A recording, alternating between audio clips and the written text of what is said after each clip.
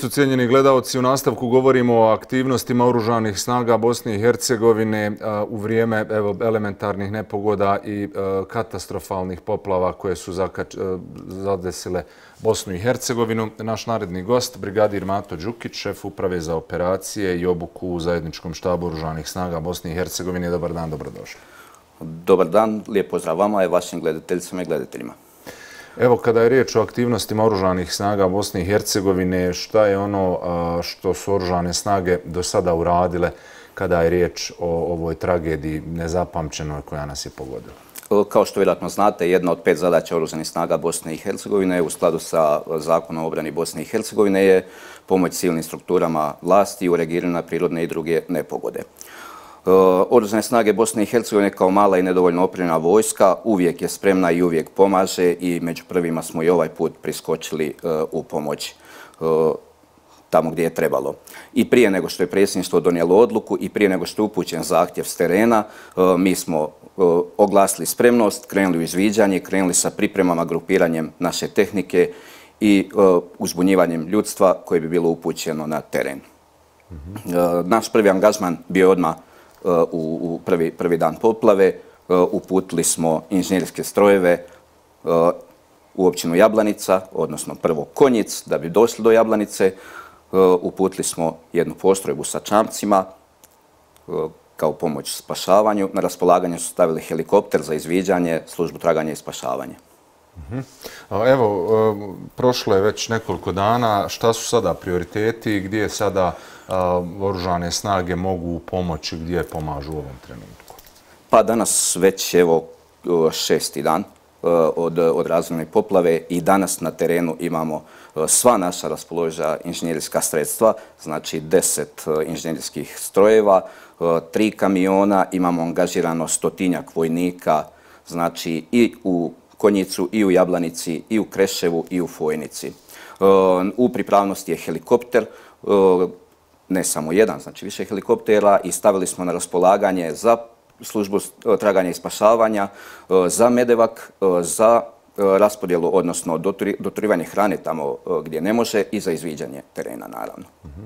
Kakva je saradnja sa, sa ostalim organima, nevojima vlasti u Bosni i Hercegovini? Ovo su vanredne, naravno, okolnosti i vjerovatno u početku nije sve ni bilo kada, kažem, o civilnim strukturama povezano, uvezano, možda nije bila dobra, dobra ni komunikacija, ali kada je jeli, vojska u pitanju oružane snage, tu uvijek mora biti sve jeli, tačno, Pa evo, samo da vam kažem, znači u skladu sa zakonima i pravilnicima, oružane snage bi trebale biti uključene zadnje, kada se iscrpe sve mogućnosti. Uh, I ovaj put oružane snage su bile uključene prve i mi smo prvi reagirali. Uh, kako bi rekao, uh, pravilo je da kada dođe oružane snage na teren, da se stavi na raspolaganje civilnoj vlasti, odnosno koordinatoru koji je, koji je na, toj, na tom mjestu zadužen za, za E, upravljanje e, svim snagama, sredstvima i onim što se dešava. Znači, e, kako to funkcionira?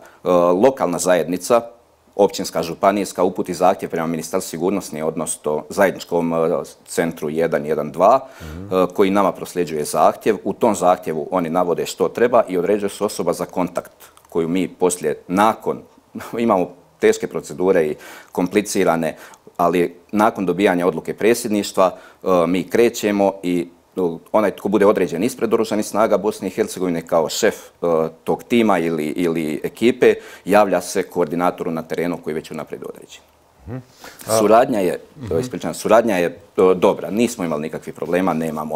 Uh, ima malo konfuzije, vi znate kakav je naš sustav, kako je kompliciran, da imamo općinsku, županijsku, federalnu razinu, republičku u Republike Srpskoj, pa državnu, ali snalazimo se i plivamo, što bi rekli. Evo, da. s obzirom da je poplava, plivamo. Da. Kada je riječ o saradnji podrškama nekih drugih armija, vojski, s obzirom na to da je Bosna i Hercegovina pod, kako kažu, NATO-ovim kišobranom, je li bilo nekih kontakata, da li su snage evo ili Eufora ili članice NATO-a nudile neku pomoć ili se možda interesovali za stanje na terenu? Uh, helikopter Eufora prvi dan je poletio prije naše helikoptera jer smo imali u Rajlovcu lošije meto uvjete nego što su bili na Butmiru. Zanimljivo, mala je to mikrolokacija, je, nije velika daljina, ali njihov helikopter je poletio prije naših helikoptera. Nudili su i druge vojske, ali znate kako to funkcionira. To je, to je stvar države. Kada se istrpe sve snage na, razni, na razni naše države, na razni naših mogućnosti, uh, onda se aktivira vijeće ministara donosi odluku o aktivaciji europskog mehanizma za pomoć, ili već kako se zove, uh, nisam civil, nisam siguran, mm -hmm. ali uh, nešto, nešto u tom stilu. Nudili se naravno i EUFOR se stavio na raspolaganje, stavili se na raspolaganje medicinske, uh, balkanske medicinske snage, zvali su iz mnogih država, iz Republike Hrvatske su i došli, iz Srbije su došli. Naše kolege iz, iz brojni vojni zaslanici koji su akreditirani u Bosni i Hercegovini su nudili svoju pomoć. EUFOR također, NATO. Mm -hmm. da. I evo, na kraju, koliko će e, oružane snage ostati na terenu, dok bude jeli, potrebe? Dok bude potreba. Mi smo trenutno, evo i danas smo na terenu i u e, Jablanici, e, u Fojnici sa 100 vojnika, tri vozila, u Kreševu danas sa 50 vojnika i, i, i dvije, dvije mašine u, u Jablanici. Ukupno, znači, danas trenutno imamo 10 inženjerskih strojeva, tri kamiona i stotinjak vojnika na, u, u ove četiri, četiri općine gdje je... Da. Hvala vam lijepa što ste bili gost u programu televizije Sarajevo. Puno sreće vam želim i nadati se da se ovakve situacije neće ponavljati u budućnosti. Evo, imate li za kraj još nešto? Imam, imam. Kako sam rekao na početku, naše oružane snage su mala, mi smo mala vojska, nedovoljno opremljena, ali naš najbolji resurs su naši vojnici, dočasnici, časnici, naš personal. Imam još jednu stvar, često se dešava na, i u medijima i na portalima i zlih namjera, kako je vojska netko tko troši, tko ne proizvodi, tko ne treba. Međutim, kada dođe do elementarne nepogode, uvijek vojska prva. Ja znam da će za tri dana, kada sve ovo stane, kada se ponovo vratimo na isto stanje, ponovo krenuti isto, da vojska ne treba, da je potrošač. A treba, smo... treba. Treba, evo dozvolite da sad budem ličan privatan, jel? Ovaj, pogotovo u današnje vrijeme kad su izazovi izuzetno visoki, situacija u svijetu nije idealna, sve se evropske države naoružavaju, prema onome što ja znam, i to rapidno se naoružavaju. Mnoge države zagovaraju i uvođenje a, obaveznog vojnog roka.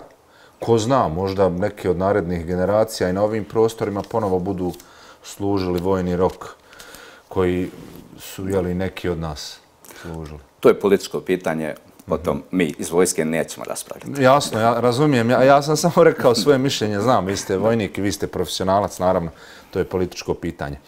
A, brigadiru, hvala vam lijepo što ste odvojili svoje vrijeme za program televizije Sarajevo. Sretno i vidimo se ponovo. Hvala vama. Naš gost je bio brigadir Mato Đukić, šef uprave za operacije obuku u zajedničkom štabu oružanih snaga Bosne i Hercegovine. Ostanite uz špicu, vraćamo se